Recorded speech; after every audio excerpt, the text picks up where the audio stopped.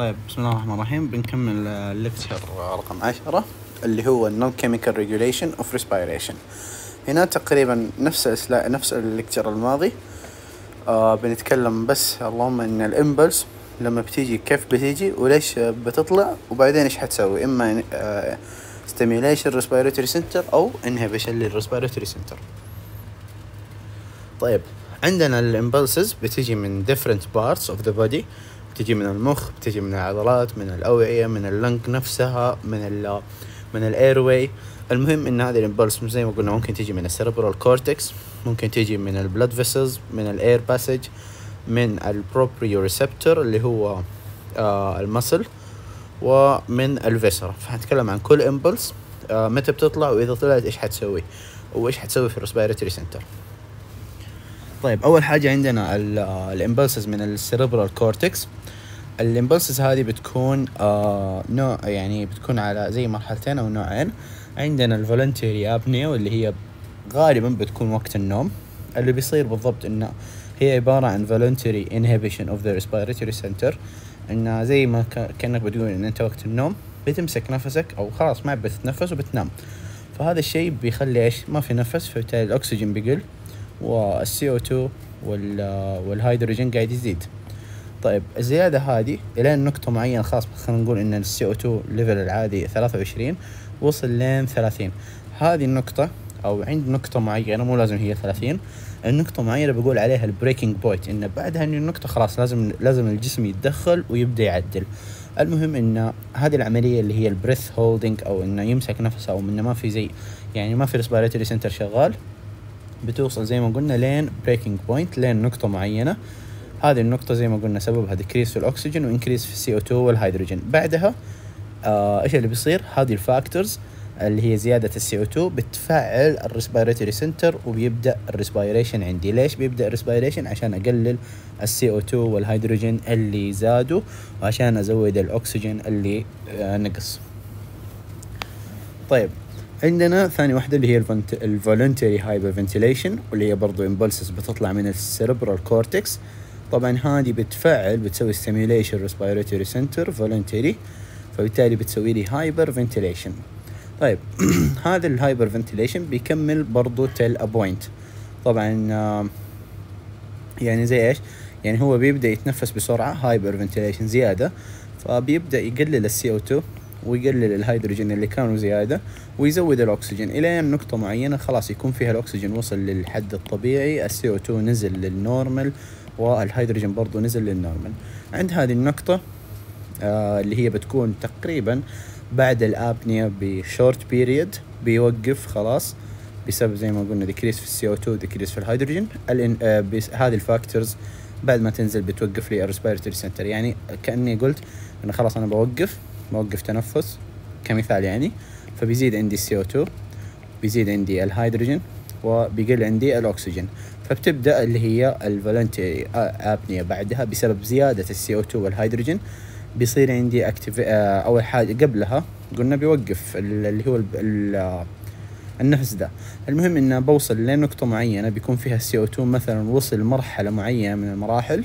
خلاص عند هذه النقطة بقرر إني لا لازم أبدأ respiration فبالتالي هذه ال factors اللي هي زيادة ال CO 2 والهيدروجين ونقصان الأكسجين بيخلي لي ال respiration يبدأ. بعدين بتطلع signals ثانية بتخلي ال respiration يزيد. يعني يصير في hyperventilation اللي هي ال voluntary hyperventilation فبيظل ينقص ال CO 2 ينقص ينقص ينقص لين يوصل لنقطة. اللي هي إيش؟ إن هذا ال CO 2 رجع لل normal رجوع ال CO 2 لل normal والهيدروجين لل normal هذه ال two factors بتخلي ال respiratory خلاص يوقف من جديد. ال respiratory center يصير له inhibition من جديد. طيب هذه أول واحدة. ثاني واحدة اللي هي ال impulses اللي بتطلع من ال blood vessels هذه ال impulse ممكن تطلع من ال arterial baroreceptor واللي هي تعتبر inhibitory impulses متى؟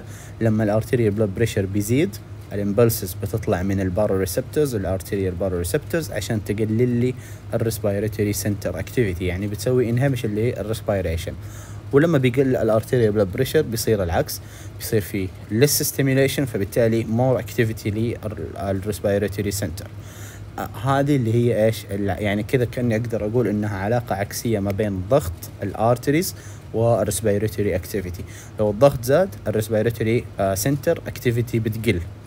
طيب ثاني واحدة اللي هي ال atrial volume receptor واللي هو يعتبر stimulatory impulse اللي هو إذا طلع impulse هذه ال impulse بتزود لي ال activity حقت ال respiratory center فلما بيزيد ال volume أو ال volume receptor هذا بيشتغل. يعني لما بيزيد ال volume عموما في ال right atrium ال right atrial pressure بيزيد فبالتالي ال right atrial بيرسل زي ال signals ال signals هذه بتشغل لي اللي هي ال respiratory center activity وبتخلي ال breathing يزيد أو ال respiration يزيد. طيب ثالث حاجة اللي هي من ال air passage هنا في ال upper airway بنتكلم عن reflexes يعني ردة فعل ردة فعل لحاجة مثلا coughing آه sneezing آه بسبب irritation بسبب compression بسبب أي حاجة.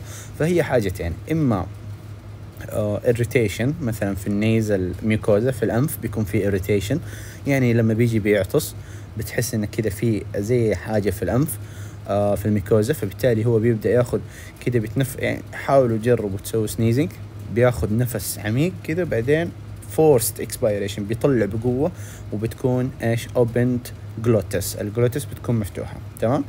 ال coughing reflex برضو بيكون في إيش؟ هنا بيكون في ال bronchi يعني ال bronchial mucosa بيكون فيها irritation فأنت حاسس إنك تبغى تبغى تكح عشان هذه ال irritations تطلع.